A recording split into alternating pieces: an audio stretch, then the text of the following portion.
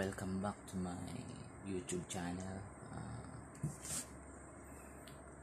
bago po ang lahat, ah, maraming maraming salamat po sa mga nag-subscribe na sa mga nag-like ng unang vlog ko.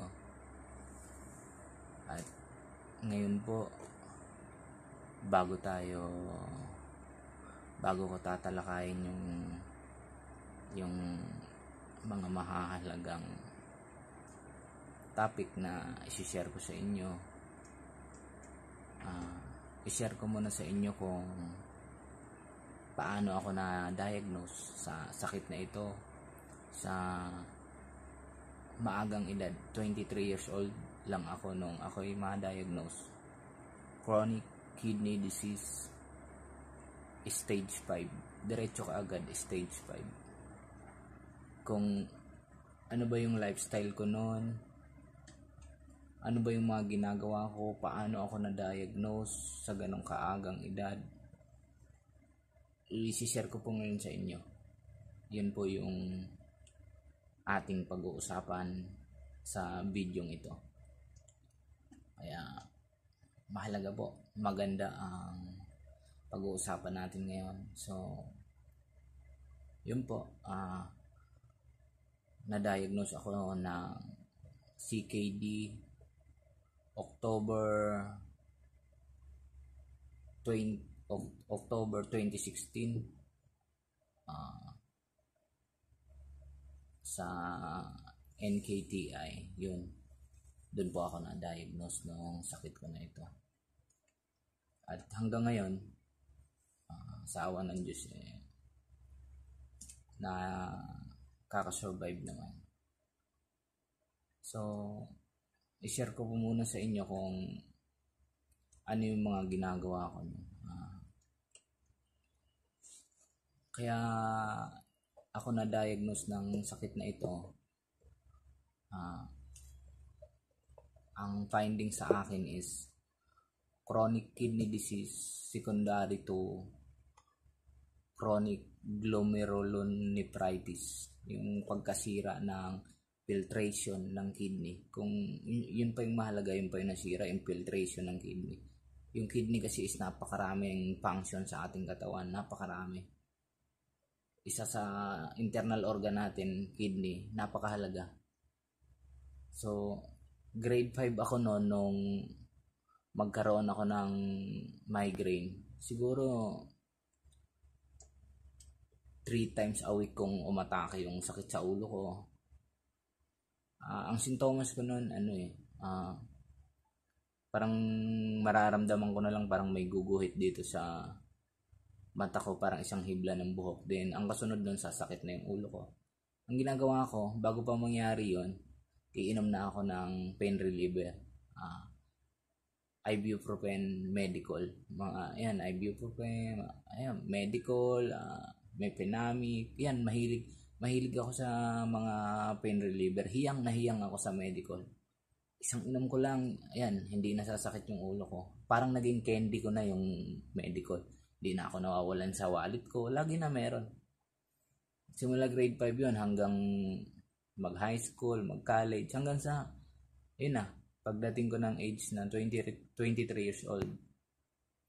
Wala na napakasama. Isa sa pinakamasama, wag na wag nyong, wag na wag kayo talagang iinom. Pag sumakit ang ulo, baka kulang lang kayo sa tubig o ano, wag ka agad. Kung hindi na kaya, uh, biogesic, yun, biogesic lang. Hanggang dun lang muna.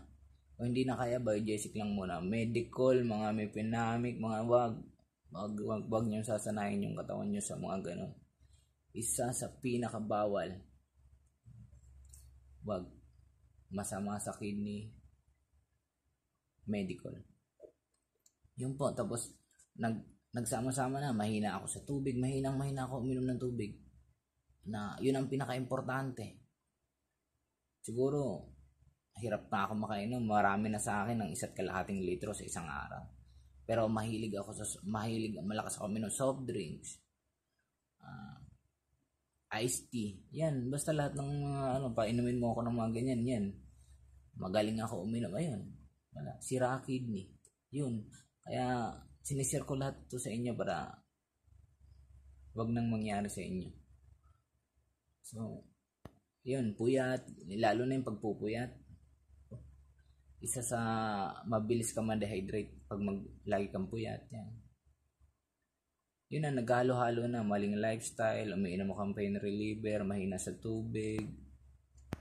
Ayun na, kaya yun ang kinasira ng kidney ko. Bigla na lang ano, naramdaman kong sintomas bago ako ma-diagnose. Bigla na lang isang araw, ang sakit ng ulo ko. Hindi nawala buong araw, inom akong medical, hindi nawala kinabukasan, sakit pa rin. Yun na pala. Yun ang yun ang naranasan kong sintomas bago ako ma-diagnose. So, yun po, talagang mahirap ang sakit na ito kaya sinishare ko muna sa inyo kung paano ako nagkaganito. Ayan. Bago ko tatalakayan yung kung gaano kahirap ang sakit na ito, gaano kagastos, ano yung mga sintomas, ano yung cause. Ayan, lahat yan. Uh, lahat po yan tatalakayin ko sa inyo. Eh, sana po eh, mag-subscribe kayo, i-share nyo yung video ko na ito. At i-share nyo pa ng i-share sa mga kamag-anak nyo, okay, lalo na sa may mga kakilalang katulad ko nung nagda-dialysis, mga ganyan pati lifestyle kung paano mo survive bilang isang dialysis patient. Kasi pag na-diagnose ka ng ganitong sakit, 3 to 5 months is critical. Marami ang hindi nakaka-survive dyan. Hanggang 3 months lang, 5 months, patay.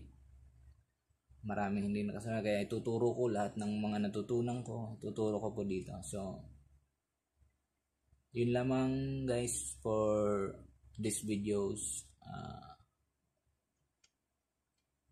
don't forget to subscribe at maraming maraming salamat sa pan inyong panonood.